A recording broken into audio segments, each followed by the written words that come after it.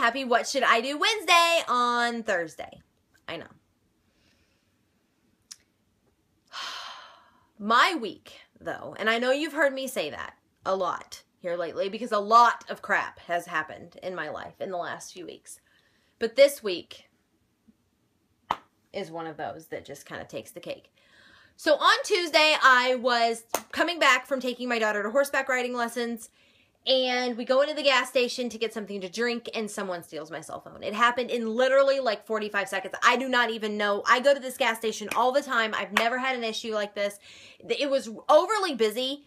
Um, I don't know if it was just a lot of people are either coming back from the holiday or just getting back into the swing thing. I don't know what it was. Like everybody was wanting lazy Tuesday and like eat gas station food. I really don't know what it was all about, but all I know is that it happened really fast. I was getting something to drink and turned my back for two seconds, my phone's gone. And so, and they steal an iPhone. I mean, they steal the most locked down phone on the planet. I can do everything from a computer. Um, not to mention, I have a MacBook, so I can really do everything from my computer. I once I realized it was gone, and I realized that it had been stolen because the minute we tried to call it, it had already been turned off. So whoever stole it had some sort of intelligence because when it comes to the phone at least because they know that if you turn it off then they can't track it with the find my iphone feature. So i went home and it was offline so i knew that it had been turned off. And i locked it all down. I erased it. I put on the little screen that says hey i'm stolen and a number that they could call me at it's probably long gone now. I whatever so i call my insurance company file my insurance claim pay the freaking deductible that i have to pay and they're like, great, no problem. We'll have you a phone in 24 hours. Great. I was expecting my phone since it was after five o'clock. It was later in the in the evening. I was expecting my phone today, which is Thursday. Um, my phone is yet to ship. So I called them last night to see what was going on, and they're like, "Oh, it's under review. It'll be two to three business days." What? I can't go two to three business days without a phone. I could have went 24 hours, but I could not go two or three business days. You're outside your damn mind. So I end up going to T-Mobile and they give me a loaner phone. I get I get a little loaner device until I get my phone at on Monday at the earliest. Gag me. I officially give up on people. I officially give up on humanity. People just suck. But I'm okay now because I at least have a phone. I at least have my, you know, connection to the outside world again until Monday when I get my phone and it'll be fine. I, I'm fine. I'm fine it's fine. But it's still annoying as crap. It's just one of those things that like brings you down so far. You're just like, oh, Why do people want to steal other people's? Like it makes no sense to me. It's absolutely insane. But anyway, we're not here to talk about the craziness that is my life or the fact that I'm going to super glue my phone to my wrist, I think. We are here for What Should I Do Wednesday on Thursday to answer all of your general paranormal related questions that you guys have asked me all up on the Facebook page. And we have a fun little list that we are going to go through today. And we're going to get started because we have a lot to cover. And I want to get this video to you before like midnight. Now, our first question is one that I have not answered for two weeks because I have done like tech stuff the last couple of weeks talking about different various paranormal equipment. And I promised Walter that I would answer his question today before he got his wand in a knot even more for not answering his question. Because if you guys haven't noticed, he kind of likes to pick on me. Rude. But I'm going to be nice and put his question at the top of the list and answer it first, okay? Okay. So his question was How many different kinds of spirits are there and what are they? Um, there are well it's basically just broken down into two different types of spirit energy. Um, there's residual and intelligent. Um, residual spirit energy and then there's poltergeist. So i guess there's three. Um, there's the residual which is spirit energy that's basically embedded into the the framework of of a location um, it's you know you get it's like a broken tape recorder. The same thing happens at the same time every day or the same time every night because it's significant to that location. So you'll hear um, a tape, you know, you can hear music that was maybe played there on a daily basis, or you can hear a laugh or, or something. It's residual. It happens all the time. It's not, there's no intelligent response behind it. An intelligent spirit is one that you can communicate with. You know, hey, are you there? Tap once for yes, tap. Tap twice for no, tap, tap. You know, um, move that knock that over make a noise talk to me you can have the conversation with them you can you can communicate with them that is a that's an intelligent spirit that can be the spirit of a loved one that can be um the spirit of someone significant to the location but it is someone that has enough energy um, manifested to be able to communicate with you maybe physically touch you appar- you know become an apparition those are intelligent spirits um, then you have poltergeist activity, which is the a noisy ghost. Um, poltergeist is German for noisy ghost. It involves moving objects, slamming doors, being very active, being a very active spirit. Um, they are subject to be anywhere. You can have all any type of that parent that spirit energy anywhere um, there's a haunted location. There's there's potential for poltergeist activity. There's potential for residual. There's potential for intelligent. Um, and with with that comes apparitions and noises and um, temperature changes. All that all of the things that go into spiritual um, activity and paranormal activity is is available at any location. So yeah, poltergeist, intelligent, and residual energy are the three most common types of spirit energy. So there, there, I answered your question. You can be happy now, and you were even number one. God, that's going to go to his head. Anyway, moving on. Our next question is I've always been followed by the number 3. I was born at 3:33. I wake up at 3:33 in the morning and even my social security number and driver's license add up to 9, which is three threes. Why is that? First of all, that's freaking awesome. Um I think that you know, you always you, you always have like your lucky number or a number that's significant to you. Um mine for a long time mine's always kind of been the 13. Um my daughter was born on June 13th at you know it, it's it's there's a lot of 13s that have been in my life in various times of my life. Um as well as other numbers but i think 13 and 7 have played a big significant role in my life. Um threes are interesting. I threes kind of can be kind of scary once in a while. I mean when you think of 3 um, and being in threes or groups of three in the paranormal world, um, you think of three scratches, which is the mocking of the Trinity, which we often refer as demonic in nature. Not saying that what your situation is has anything to do with that. Um, I think that three is just your number. It, you know, you were born at 333. You were kind of set up for that, that number. You were born at that weird, that odd hour. Um, 3 a.m. is the witching hour. Um, when paranormal activity is at its most prevalent and it's mo- and it's can be heightened. Um, I think that it's it's just maybe a part of who you are and it's significant to you and it I don't know as it has any, you know, paranormal base. Um I think that that is just a significance in your life. Um it's a really cool one to have.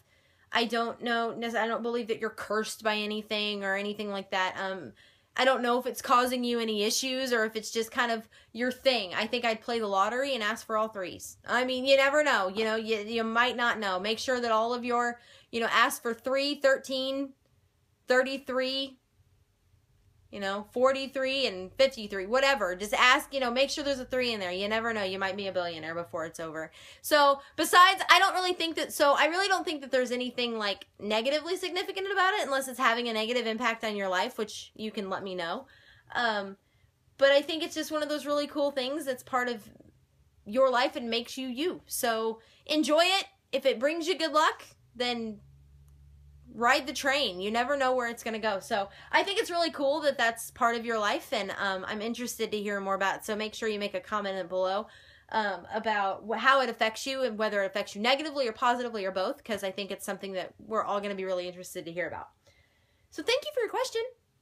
Um, our next question is why can't we ourselves talk or communicate with ghosts? Why does it have to be through television? What can I possibly do to reach out to the other side? And do you have to be gifted in some way? Okay.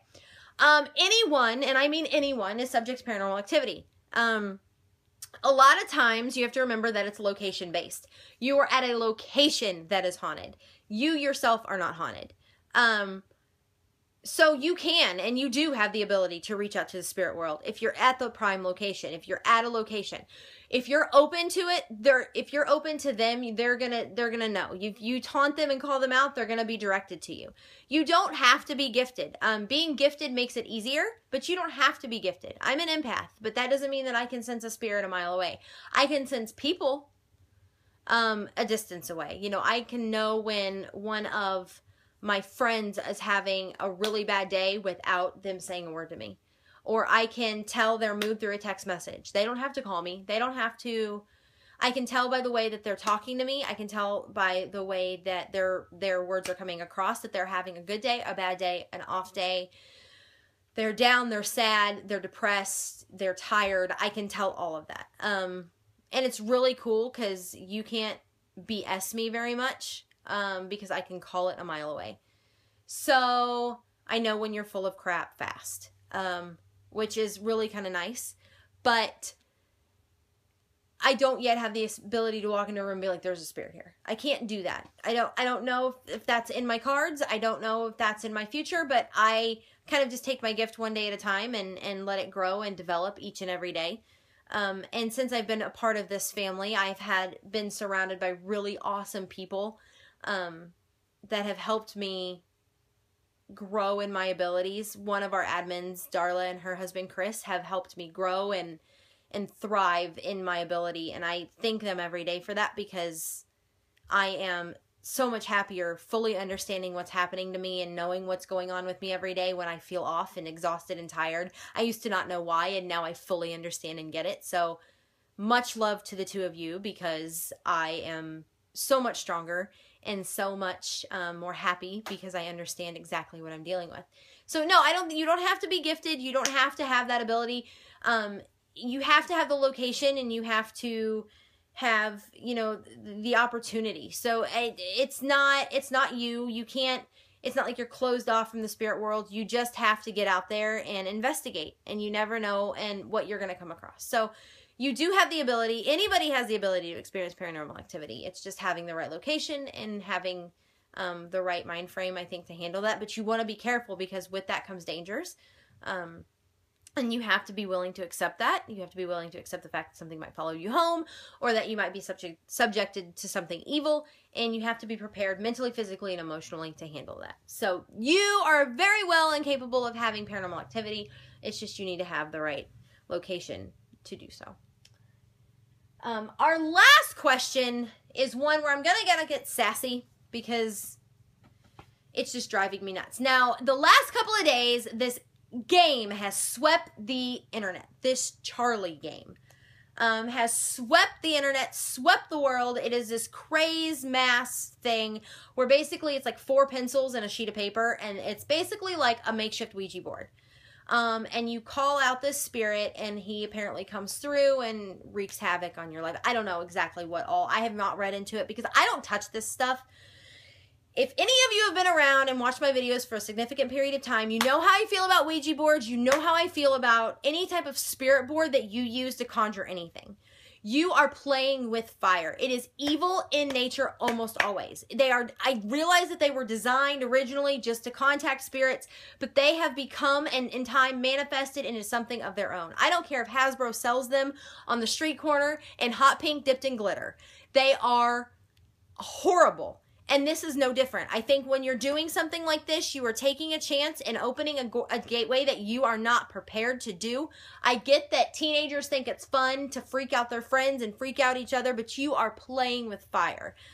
So I think it's absolute crap. Um, I don't advise anybody to do it. I think that you are dealing with something that is evil and it all it's to take is one you know it's it's to happen it's bound to happen somebody's to do it wrong. If there's any like i said i haven't done a lot of research into it i just know the basis of it. And if there's any spiritual connection behind it at all um I think a whole lot of people are asking for a whole lot of trouble. Because right now it's hot, right now it's a fad, right now it's a thing, and people are doing it. And I think it's going to open the gateway for the crazies to come out of the woodwork, for people to start acting a fool, for people to start getting hurt, and that's when it's just not fun anymore. And it shouldn't ever be anything that be, should be done anyway. So, my thought on it is if you're doing it, you're stupid. If you haven't done it yet, don't. Leave it alone. It's not worth it. Don't even play with it. You never, ever, ever know what the consequences of your actions are going to be when you're messing with something like that. The same with the spirit Ouija board. Like I said, I don't care if Hasbro sells them in pink, purple, orange, green, and blue, and they are dipped in glitter and they shoot rainbows from the planchette. I don't care what happens. I think they are all junk and they are all crap and they are not good. And if I keep talking about it, I'm just going to get fired up and I'm just going to get sassy, and I do not have the energy to do so today. So that's my thought. I think it's stupid. I think it's crap. And I think that it should just be destroyed and left alone. Okay? Okay. So that is all I have for What Should I Do Wednesday on Thursday. I will be back tomorrow for GA Flashback Friday, where we are going to the Eastern State Penitentiary and we are going to review that episode. So until then, stay happy, stay healthy, have a great rest of your week. I will see you guys tomorrow. Much love and happiness. Bye.